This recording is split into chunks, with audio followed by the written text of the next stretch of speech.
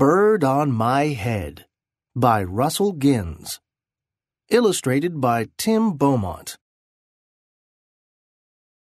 Yawn.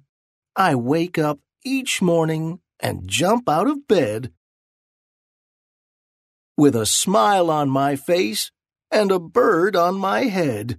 When I walk out the door, it is so good to know I have a friend with me wherever I go.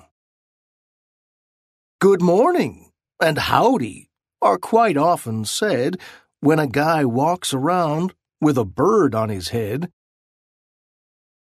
I like peanut butter and jelly on bread, but they taste so much better with a bird on my head.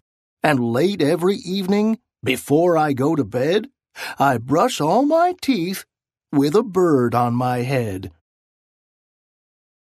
Once I was invited to go to a dance. I put on a hat and my very best pants. Hold on, someone shouted, his face turning red. You can't come in here with that on your head.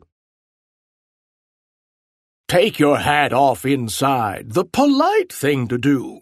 Then come join our party. We've brought our friends too.